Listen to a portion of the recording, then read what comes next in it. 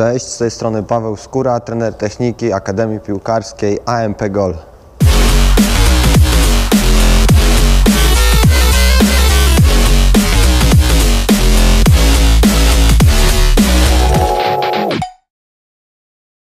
W dzisiejszym odcinku pokażę Wam jak wykonać zwód piłkarski step over.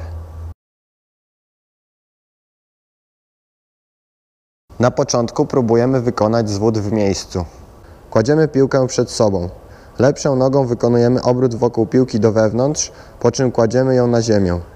Następnie zewnętrzną częścią stopy lepszej nogi przemieszczamy piłkę na bok. Po przećwiczeniu zwodu w miejscu próbujemy wykonać go z prowadzenia piłki. Prowadzimy piłkę lepszą nogą. Lepszą nogą wykonujemy obrót wokół piłki do wewnątrz i kładziemy ją na ziemi.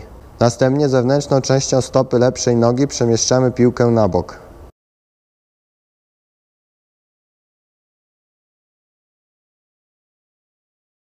Mam nadzieję, że poradnik okazał się być pomocny i pomógł Wam w nauce zwodu piłkarskiego step over.